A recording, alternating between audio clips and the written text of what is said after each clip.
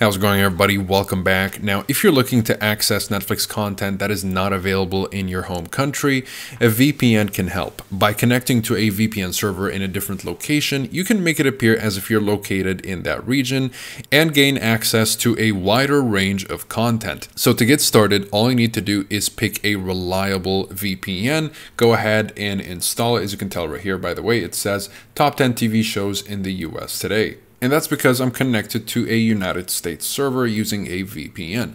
So which VPN do you choose? Well, I've tested over a couple of dozen VPNs and I've narrowed it down to these three as the best overall. They all vary in budgets and features, so you can pick and choose depending on your situation and what you're looking for out of these VPNs.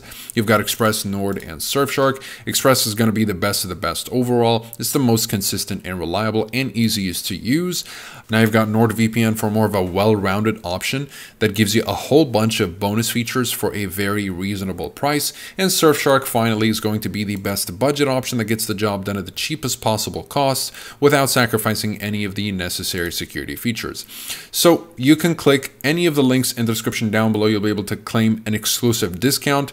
Once you pay for your plan, you'll get your credentials information in your email. Go ahead and download install the VPN. Click yes on everything until you reach the application itself. Log in using your credentials, connect to your desired server. Um, let's say you want to maybe access some sort of library from Canada or France rather, you can just connect to the French server and there you go. Now you have access to French content. And that's pretty much it for this video. If you guys are interested in any of these VPNs, you'll find links to pricing and discounts in the description down below, as well as full reviews if you'd like to learn a little bit more about them. Besides that, they're all covered by 30-day money-back guarantee in case you're not satisfied for whatever reason. And comment below if you have any questions. I'll be happy to answer all of them. Like and subscribe if you'd like to support the channel and stay up to date with everything VPNs and cybersecurity. Thank you guys very much for watching, and I'll see you in the next one. Have a wonderful